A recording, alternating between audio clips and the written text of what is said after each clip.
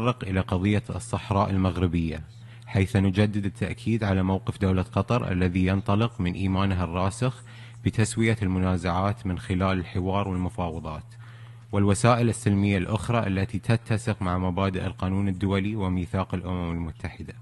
وفي هذا الصدد فإن دولة قطر تدعم جهود الأمين العام للأمم المتحدة الرامية إلى تيسير التوصل إلى حل سياسي دائم ومتوافق عليه في إطار العملية السياسية التي تشرف عليها الأمم المتحدة. وفقا لقرارات مجلس الأمن وآخرها قرار 2703 لعام 2023 وبما يضمن سيادة المملكة المغربية ووحدة أراضيها. وفي هذا السياق نرحب بالجهود التي يقوم بها السيد ستيفان دي مستورة المبعوث الشخصي للأمين العام. السيدة الرئيسة تجدد دولة قطر ترحيبها بمبادرة الحكم الذاتي التي تقدمت بها المملكة المغربية.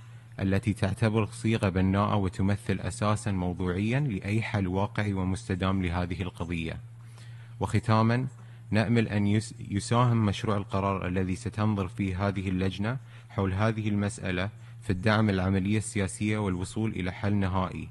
وسلام مستدام على نحو يخدم مصلحة الأطراف والأمن ويدعم جهود تعزيز الاستقرار والتعاون في المنطقة وكذلك الأمن والسلم الدوليين. وشكرا سيد الرئيسة.